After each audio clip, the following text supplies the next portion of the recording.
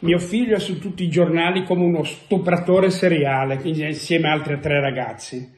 Io voglio chiedere, voglio chiedervi, voglio chiedere veramente, voglio una spiegazione perché un gruppo di, di, di stupratori seriali, compreso mio figlio dentro, non sono stati arrestati. Perché non li avete arrestati? La legge dice che gli stupratori vengono presi e vengono messi in galera, interrogati in galera o ai domiciliari. Sono lasciati liberi per due anni. Perché?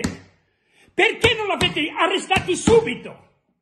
Ce l'avrei portati io in galera, calci nel culo. Perché? Perché vi siete resi conto che, che non è vero niente che c'è stato stupro, non c'è niente. Perché una persona che viene stuprata la mattina, al pomeriggio va in kitesurf e dopo otto giorni fa la denuncia, vi, vi è sembrato strano. Bene, vi è sembrato strano. È strano. E poi non c'è un avvocato che parla o sono io il padre che parla e difendo mio figlio. C'è il video. C'è un video. C'è tutto il video. Pa- passaggio per passaggio e vede, si vede che c'è la consenzialità, si vede che c'è il gruppo che ride, che sono ragazzi di 19 anni, che si stanno divertendo, che, che sono in mutande, che sono in mutande e saltellano col pisello così perché sono quattro coglioni, non quattro stupratori. E io sono stufo che sono due anni.